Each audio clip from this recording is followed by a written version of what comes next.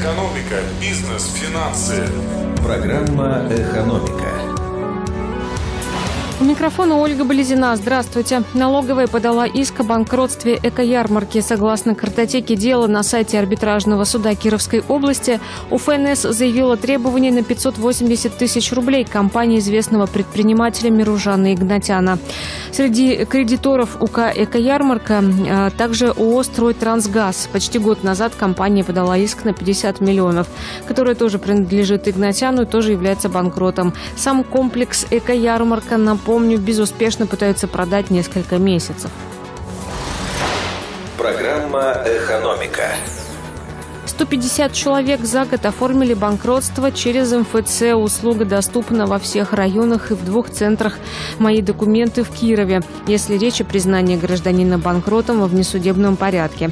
Это возможно при долгах от 50 до 500 тысяч рублей. На дату подачи заявления должно быть окончено исполнительное производство в связи с тем, что у гражданина отсутствует имущество, на которое может быть обращено взыскание.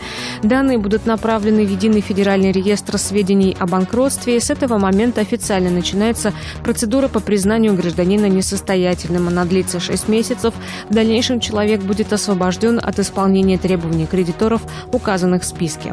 Экономика на 101 FM. Далее информация от наших партнеров.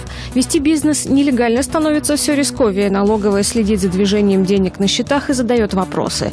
Если бизнес небольшой, можно легализоваться через самозанятость. Регистрация занимает несколько минут. О плюсах и минусах системы рассказывает руководитель компании «Бухгалтерия» Татьяна Максимчук. Плюсы самозанятости. Нет отчетов и деклараций, не нужна онлайн-касса, нет фиксированных страховых взносов. То есть, соответственно, если у вас нет деятельности и доходов, то вам не нужно платить фиксированные страховые взносы. Но есть и минусы. Так как вы не платите фиксированные страховые взносы, у вас нет пенсионного стажа. Нет оплачиваемых больничных, но помните, что статус самозанятого позволяет легально вести бизнес и получать доходы от подработок без рисков получить штраф за незаконную предпринимательскую деятельность.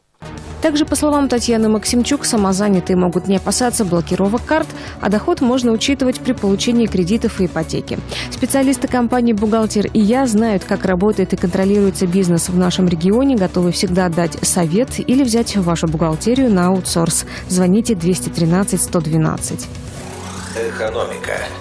В завершении о курсах валют на сегодня. Доллар стоит 74 рубля 7 копеек, официальный евро 86,78.